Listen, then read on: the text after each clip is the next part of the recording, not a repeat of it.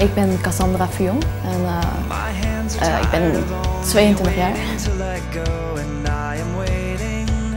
Uh, ik ben Kimberly, ik ben 23 jaar.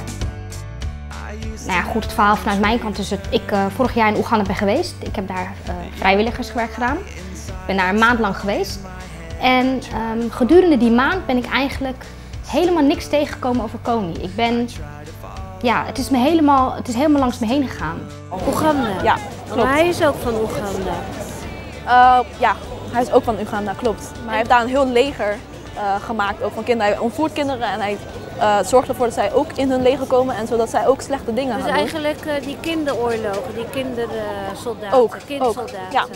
Want we hebben inderdaad flyers, maar we hebben een, uh, de flyers hebben we voorzien van een soort haakje of in ieder geval een touwtje. En die kan je dus overal ophangen. En het is dus de bedoeling dat een gegeven moment in de stad overal van die ja, van die flytjes bungelen, om het zo even te zeggen. Ja, maar dat is ook heel die actie al... natuurlijk. Cover the Night. Dat is de oproep van Invisible Children. Om ja. dat als iedereen morgen wakker wordt, dat iedereen alles op straat ziet hangen. En dat ja. is dan de awareness die we willen creëren. Maar voor ons ligt het ook wel groter dan alleen Kony hoor. We krijgen natuurlijk we krijgen heel veel kritiek overigens op, uh, via de website, via e-mail, via Facebook. Maar ik denk dat het juist voornamelijk mensen zijn die zich alleen maar fixeren op Kony. En tuurlijk, wat Kony doet, het is een uh, oorlogsmisdadiger. En, maar ja, nou goed bij elke oorlog of dan ook ligt er natuurlijk een hele geschiedenis aan vooraf.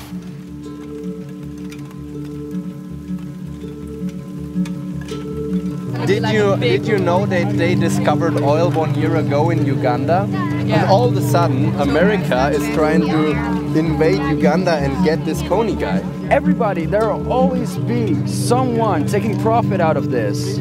Always. Liever één kind gered dan geen. Ik bedoel, wat maakt... Weet je, een mensleven is zoveel meer waard dan alles wat er is. En goed, als er überhaupt een kans is dat het goed kan uh, aflopen... Ja, dan, vind ik gewoon, uh, dan vind ik gewoon dat we die moeten grijpen als mensheid.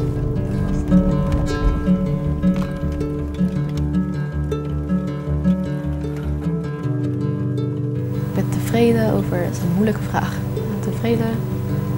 Um... Poeh. Lastige vraag. Uh, waar ik ontevreden over ben, dat uh, weet ik wel. Maar tevreden? Mm.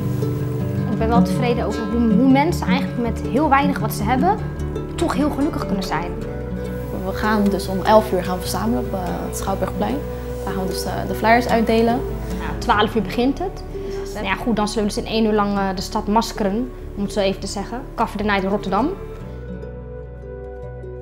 Um, als je hier ziet, kijk, zo ziet het eruit dan. En ja, het is heel tof als je het aan een fietsje ziet bungelen of in ieder geval bekende plaatsen, uh, deurknoppen, dat soort dingen. Auto's. Dus uh, ik zou zeggen, maak er wat moois van, wees creatief. 5,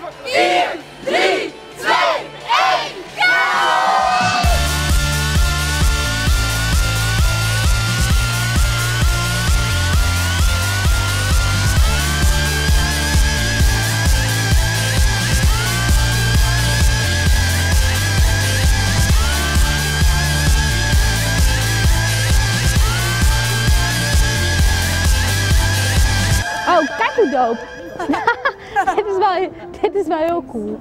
Kom op, het is centraal, weet je. Tof. Laten we kijken wat die anderen ervan hebben gemaakt. Oh, was er maar één iemand die zeg maar iets heeft geleerd over koning vanavond, was ik al blij. En ja, ik ben zeker overtuigd dat er echt wel mensen zijn hiervan zullen horen. Ja, het was top, het was dope. Ik denk niet dat er zozeer één mooiste plek op aarde is. Ik denk gewoon dat het, het heeft te maken met het moment. Het is een momentopname. Ik bedoel, ik kan nog op de mooiste plek ter wereld zijn, maar als ik me op dat moment niet goed voel, zal ik het toch niet zo ervaren. Ik denk wat echt een heel mooie plek is, is wanneer je zonder internet um, een tijdje kan leven. Dat je eigenlijk een beetje anders kan leven. Want ja, laatste mensen is zo afhankelijk van techniek. Dat is wel een beetje in tegenstelling tot dit project natuurlijk. Maar dat lijkt me wel een heel, hele mooie plek weer om het toch een keer weer mee te maken. I don't hear music anymore. My ears are tired of all the pictures in the words, cause you are in them still.